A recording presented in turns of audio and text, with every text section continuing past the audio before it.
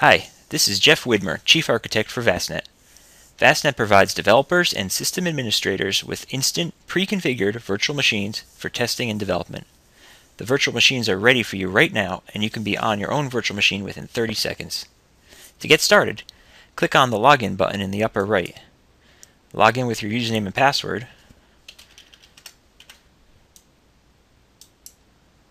and then click the Start Here button. This will take you to the Vaasnet Virtual Machine catalog page.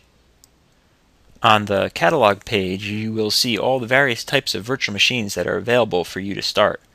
These include base operating systems such as Windows Server 2008 and 2008 R2, Windows 2003, and Windows Server 2012.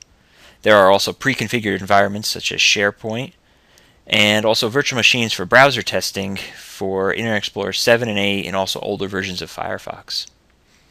When you find the virtual machine type that you want to use, just click the Start button.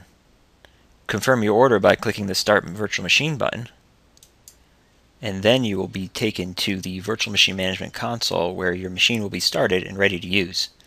This page gives you details about your virtual machine, including its state, public IP address, and other settings. To connect to your virtual machine, just click the Connect button in the upper right to launch Remote Desktop Connection. OK your way through the dialogues, and then enter your username and password.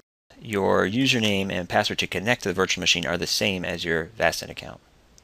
Click OK, and you're ready to go on your pre-configured virtual machine. Returning back to the virtual machine management page, this is also where you can change the state of the virtual machine. In addition to starting the virtual machine, you can save the virtual machine, which is like closing the lid on your laptop, the current state of the virtual machine is saved exactly as you just had it.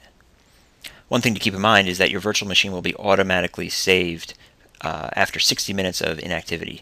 This prevents you from running up virtual machine usage charges when you are not running your virtual machine.